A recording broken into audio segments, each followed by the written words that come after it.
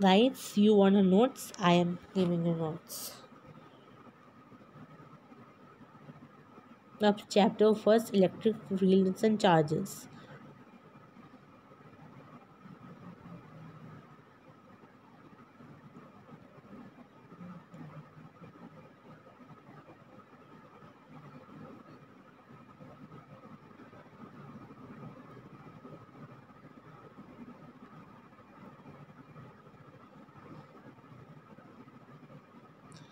I am trying once more वो भी आराम से। तो अब आराम से देख लीजिए पहले। इतना नोट कर लीजिए आप। चलिए मैं आपको डिटेशन की तरह बोल देती हूँ। Like charges and unlike charges like charges repel and unlike charges attract each other conductors and insulators. Conductors allow movement of electric charge through them. Insulators do not. Third property. Quantization of electric charge. It means the total charge of a body is always an integral multiple of a basic quantum of charge. Q equals to any where n equals to 0 plus minus 1 plus minus 2 and plus minus 3 and so on. Additivity of electric charges uh, the total charge of a system is the algebraic sum of all individual charges in the system. Conservation of electric charges. The total charge of an isolated system remains unchanged with time. Superposition principle. It is the properties of forces with which two charges attract or repel each other are not affected by the presence of a third or additional charges. The electric field E at a point P at a point P due to charge configuration चलिए आपको समझा भी देते हैं। इसमें कहा गया कि electric field E at a point due to charge configuration की वजह से कैसी होती है। यानी जो एक इलेक्ट्रिक फ़ील्ड होती है एक पॉइंट पर, वो चार्ज कॉन्फ़िगरेशन की वजह से कैसे होती है। तो it is the force on a small positive test charge Q वो फोर्स होता है। जो स्मॉल पॉजिटिव जो small positive test charge Q पर होता है, जिसको रखा जाता है एक पॉइंट पे, जिसको एक पॉइंट पे रखा जाता है और जिसको एक पॉइंट पे रखा जाता है टेस्ट चार्ज क्यू को, और वो डिवाइडेड किया जाता है उसे मैग्नीट्यूड में। सच डैट ई इक्वल होता है फिर हमारा Q of Q upon four pi E naught R square और अगर मैं बता दूँ तो यहाँ पे जो, यहाँ पे जो ये सिंबल होता है ई e नॉट इसको हम बोलते हैं एप सेलेंट नॉट और ये होती है रिलेटिव परमिट ये होती है relative permittivity relative relative permittivity.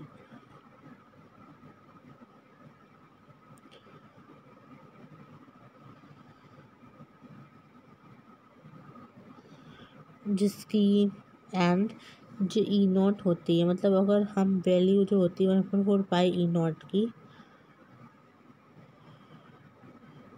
ये यहाँ से लेकर यहाँ तक की वैल्यू ये इक्वल होती है nine into ten to the power nine something शायद अप्रॉक्स ऐसी होती है। चलिए तो आपको आगे बताते हैं। आप पहले नोट्स सीख लीजिए, उसके बाद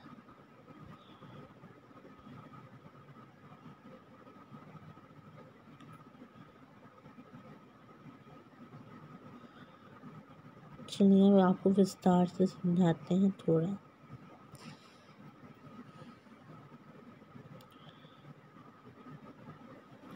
देखिए, the electric field E at a point to charge configuration की मतलब होता है कि एक फोर्स होता है। Small test charge Q naught पर जिसको एक पॉइंट पे रखा जाता है और फिर उसको डिवाइड कर दिया जाता है एक मैग्नीट्यूड के साथ। फिर उसके बाद जब उसको डिवाइड किया जाता है मैग्नीट्यूड के साथ तो हमारी जो इलेक्ट्रिक फ़ील्ड होती है, वो आ जाती है Q upon four pi epsilon naught R square फिर इसमें दे रखा कि वो रेडली आउटबर्ड होती है फ्रॉम क्यू से। वो चार्ज क्यू से जो इलेक्ट्रिक फ़ील्ड होती है, वो रेडली आउटवर्ड होती है, यानी बाहर की तरफ़ होती है। जब मतलब टेस्ट चार्ज हमारा जब वो पॉजिटिव होता है और जब हमारा टेस्ट चार्ज नेगेटिव होता है, अब जो इलेक्ट्रिक फ़ील्ड होती है, वो रेडली इन्वर्ट्स होती है मतलब इन्वर्ट डायरेक्शन में होती है। अब electric field E at a point varies inversely at the इसमें रखा electric field at a point varies inversely square of a distance from Q the plot of E versus R will look the figure given below. So जो इसमें बताया गया electric field ई जो होती है, वो इन्वर्सली वेरी करती है अपने स्क्वायर ऑफ़ द डिस्टेंस से फ्रॉम क्यू से। और जो प्लॉट है ई वर्सेस आर का, जो ग्राफ है, जो दे रखा है, वो कुछ इस तरीके से। इलेक्ट्रिक फ़ील्ड ई की डायरेक्शन है और ये डिस्टेंस की डायरेक्शन है। चार्ज क्यू नॉट की।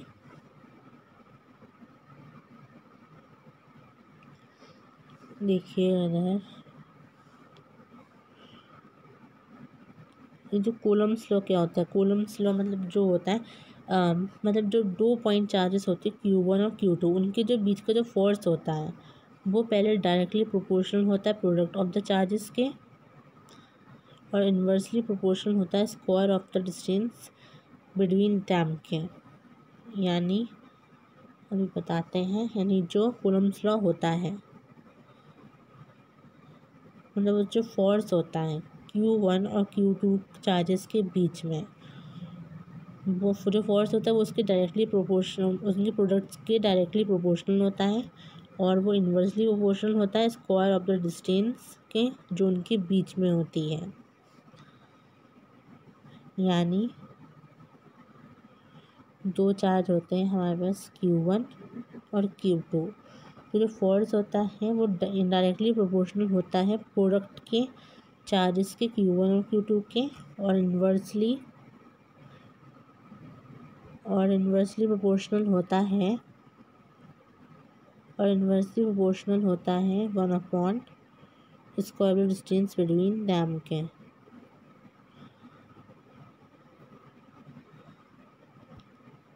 अगर आसान भाषा में समझें तो Coulomb's of force between two charges Q one and Q two is directly proportional to it and force is inversely proportional to square distance between them and जब हम इसे कंबाइन करते हैं तो आफ्टर कंबाइनिंग फोर्स इक्वल हो जाएगा Q one Q two upon R square into K जहाँ K equal होता है one upon four pi E naught K. और जहाँ पे जहाँ पे जो ई नॉट हो, जहाँ पे जो के होता है, वो होता है वो होता है proportionality constant an electric field line it is a curve drawn in such a way that tangent each point on the curve gives a direction of electric field at that point ये है properties और ये कुछ important फॉर्मूले तो आप देख लीजिएगा एक बार फिर से आपको नोट सिखा देते हैं